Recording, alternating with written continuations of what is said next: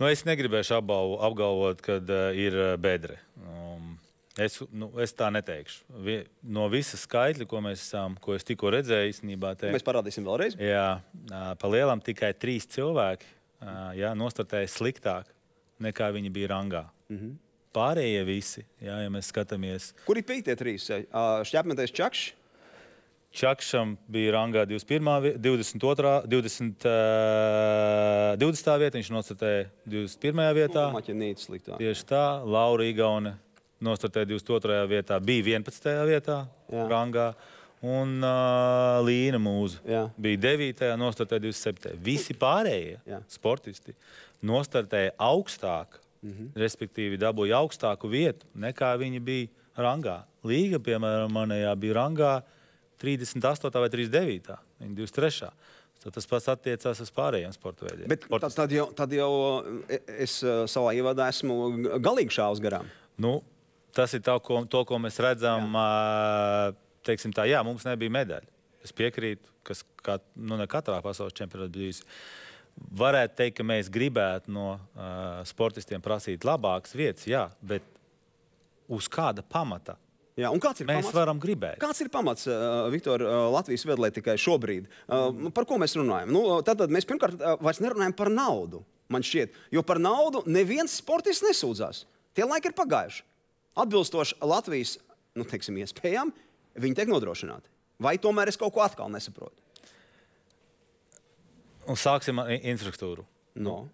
Rīgā nav neviena stadiona. Rīgā nav. Jā, nu labi.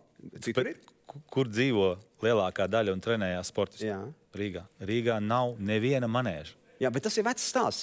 To jūs Tieši izmainīt tā. nesat varējuši. Nē, Ā, to nav izmainīt varējuši nē. arī politiķi ja, kaut kādā mērā. Uh, Bet es, es, es atkal ieraugu liepais manēžu veci. Fantastiski. Fantastiski! Jā, beidzot, kāds ir Kāda manēža liepājā? Veči, pārceļamies uz liepāju, ja gribam nodarboties ar viedlētiku. Jā, bet lielākā daļa cilvēku tomēr vienalga apgrozās un dzīvo Rīgā. Jā.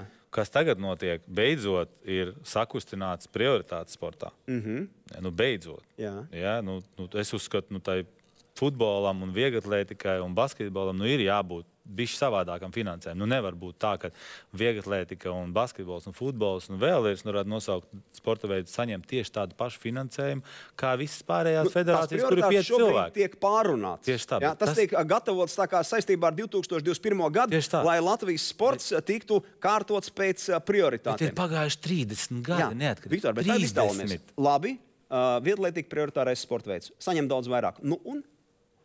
Vai naudā viss ir tomēr? Protams, ka nav, bet tajā, Sāk pašā, tālāk. bet tajā pašā laikā, ja mēs nerunājam par naudu, protams, ir, mēs varam runāt par tādu, bet tajā pašā laikā, lai mēs varētu trenēties, trenēties kā trenējās, piemēram, ja jūs dzirdējāt uh, Marcela Levandovska poļa Jā. teikumu Instagramā, ka viņš pateicās savai sievai par to, ka viņa ir laidusi to cilvēku trenēties 300 dienas no 360 dienām nometnē. Ārpus polijas. Ārpus Siltajās Polijas, zemēs. siltajās zemēs. Jā. Tas ir ar ko mēs konkurējam.